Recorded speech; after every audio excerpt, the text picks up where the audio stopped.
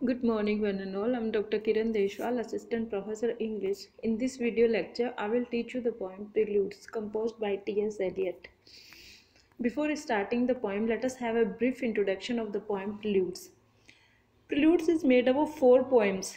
चार कविताएँ इसमें मर्ज की गई हैं written by the modernist poet T S Eliot modern कवि टी एस एलियट के द्वारा ये लिखी गई है बिटवीन 1908 एंड 1912 1908 से 1912 के बीच में।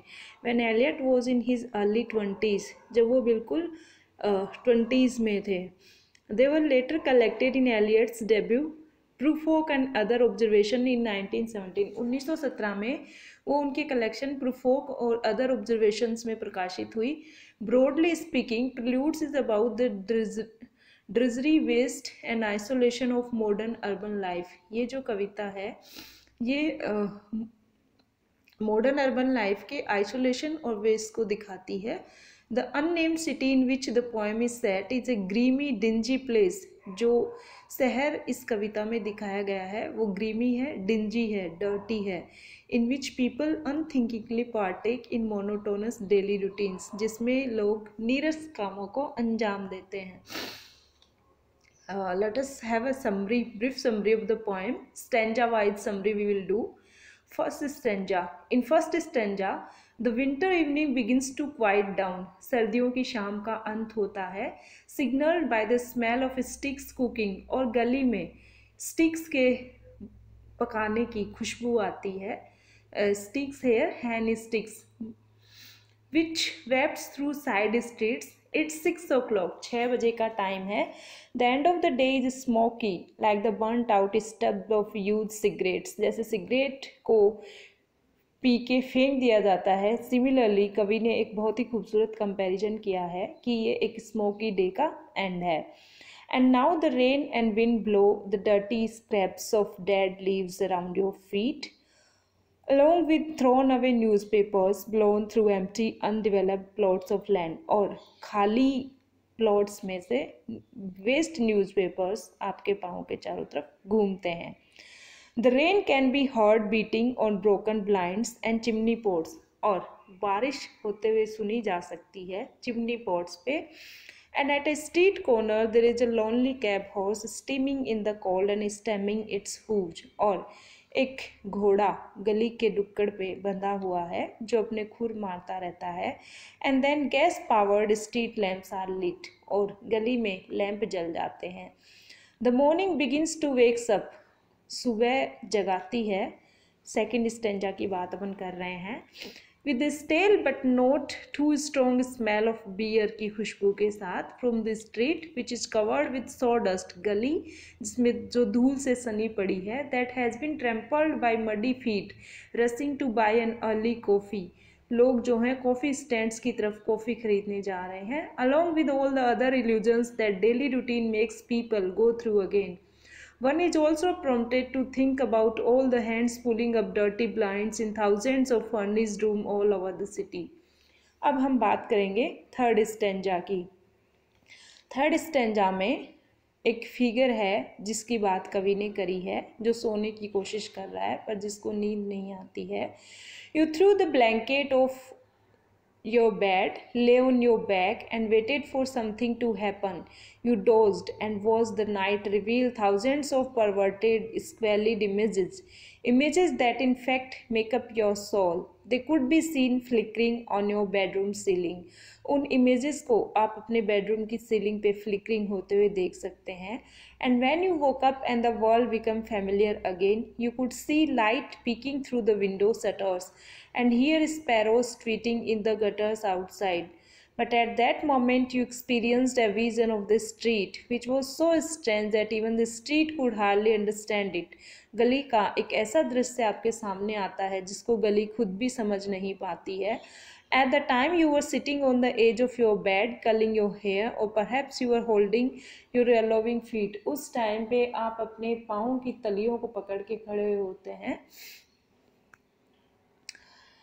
Its soul was spread out tightly across the skies, which could be seen fading as the sun set behind a city block. चौथा स्टेंजा है जिसमें वो नेक्स्ट मेल फिगर की बात करता है जो सिटी ब्लॉक को निहार रहा है हाथों में स्मोकिंग पाइप ले रखा है। This soul was also trampled by hurrying feet at four five and six o'clock at these times one can also see stubby fingers stuffing pipes with tobacco evening newspapers on sale and eyes looking around with expressions of self assurance. Beneath all this, the street has a consciousness which wants eagerly to come forth into the world. I'm moved by the ideas that I have associated with these images, ideas that are difficult to get rid of above all the vague notion of I am moved by the ideas कवि इन सब ideas से विचलित हो जाते हैं that I have associated with these images जो वो इन इमेजेस के साथ में चिपकाते हैं।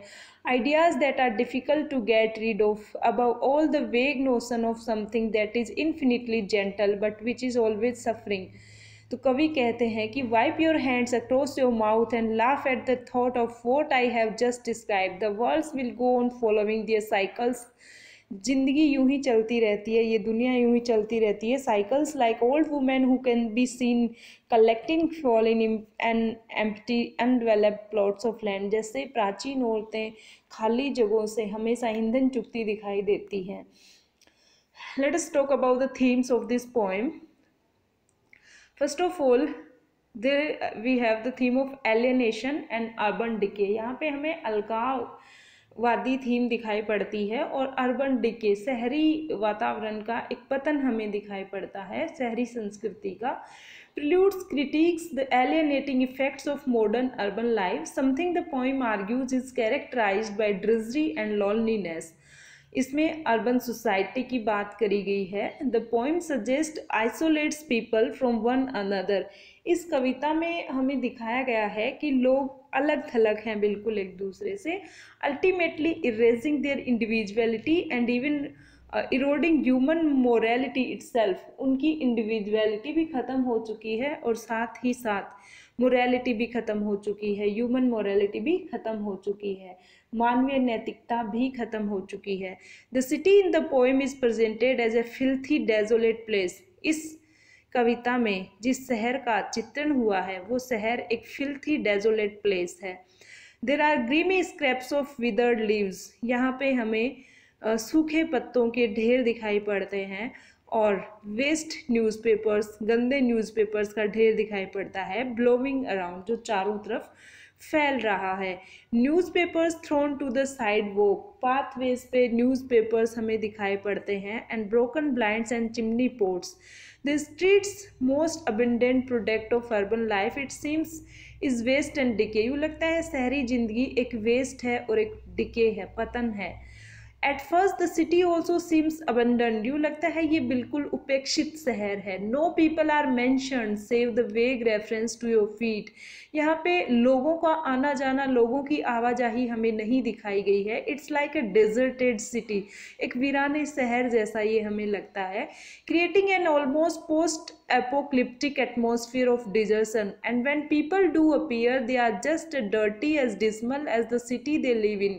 Their muddy feet, trample the ground their palms are dirty and their foot soles are yellow तो हर इमेज में हमें डर्टी पिक्चर्स दिखाई गई हैं it's as if the city itself is passing on a contagion to the people who live in it Note how the people in preludes also lack any distinguishing features and are instead reduced to their body parts. This underscores the sense of anonymity created by modern life. All these people are living together in this space सभी लोग इस जगह पे एक साथ रह रहे हैं but that doesn't make them part of a meaningful community instead the urban world seems to erase their identities making them into just a bunch of feet and hands this use of synecdoche further implies यहाँ पे synecdoche का use किया गया है। Feet और hands यहाँ पे people को रेफर कर रहे हैं, वहाँ पे रहने वाले लोगों को रेफर कर रहे हैं। This use of synecdoche further implies that people are alienated even from controlling their own bodies which robotically follow the routines और लोग बिल्कुल रोबोट्स की तरह हैं जो अपने डेली रूटीन्स को फॉलो करते हैं and the routines which are required of modern urban living people are going through the same motions day after day opening the blinds getting coffee trudging off to work without really well the human beings in preludes lack emotion नहीं है उनमें identity नहीं है उनकी कोई, वो uncertain individual के रूप में हमें दिखाए गए हैं और एजेंसी नहीं है उनकी कोई। The environment itself is personified environment को भी पर्सोनिफाई किया गया है like end of smoky days note how the evening settles down and the morning comes to consciousness तो एनवायरमेंट को पर्सोनीफाई किया गया है this suggest that the emotions that have been drain from the human characters have been transferred instead to their surrounding and it's a very remarkable use by the poet it's as if awareness itself is too heavy a burden for modern people to bear लोग जानना ही नहीं चाहते पहचानना ही नहीं चाहते अपने existence को that's why वो एग्जिस्टेंस वो फीलिंग वो इमोशंस ट्रांसफ़र करे गए हैं नेचर को and so needs to be carried by something larger that is by the world itself in poem 4 this then extends beyond simple consciousness to a moral conscience The street seems to possess an awareness of morality that human begins human beings in this world have lost वो morality जो मानवीय लोगों में ख़त्म हो चुकी है, उसको गली जो कि एक बिल्कुल निर्जीव वस्तु है, उसमें दिखाया गया है। Thanks for watching we will be continue in our next video